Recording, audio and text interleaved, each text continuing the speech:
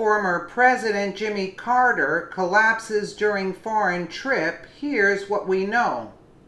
Former President Jimmy Carter has been hospitalized during a foreign trip. He collapsed according to those on the scene. Here's what we know so far.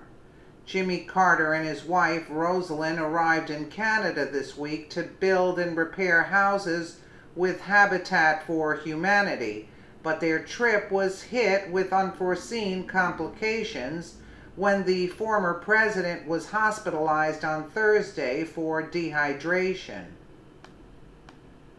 Uh, we're live here in the newsroom today because President Carter collapsed while on a build up in Winnipeg, Canada. Habitat for Humanity is the organization he's dedicated so much time to and literally was building a home today. He's been up there for a few days. Uh, we've seen pictures of him uh, with his wife Rosalynn was up there. It's 68 degrees up in Winnipeg today, so it wasn't hot like it is here in Georgia. But nonetheless, he still became dehydrated, felt a little bit weak. He was seen uh, collapsing. But after that happened, and he, there was some uh, you know, medical personnel that were there taking care of him, he was able to actually speak. So uh, President Carter seems at this moment to be fine uh, is going to be observed. Obviously, when you collapse and something like that happens, you're going to need some medical attention. Someone will keep an eye on you just to make sure everything's okay.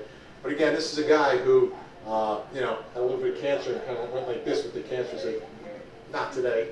I'm going to be okay." So we're hoping he's going to be okay in the past, the Carter Center and his group has made sure that they um, are able to present a, a complete picture before they release information.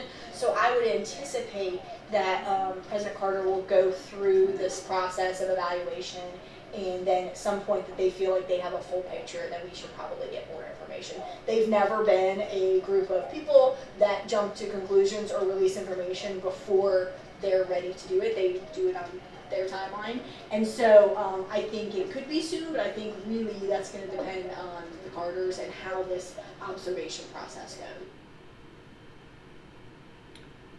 A Habitat for Humanity volunteer told the media that she saw Carter collapse after he'd been working in the sun for about an hour, using a handsaw to cut wood for a staircase.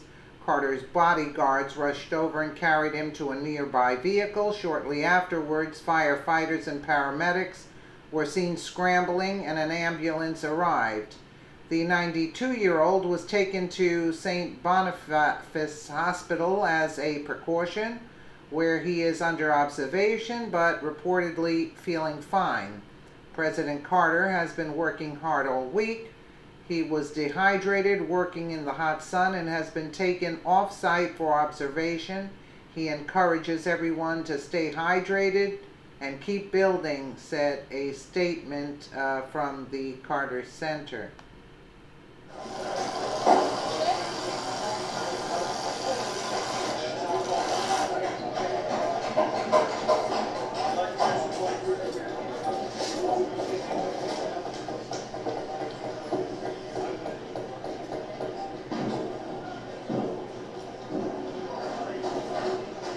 President Carter was dehydrated working in the hot sun.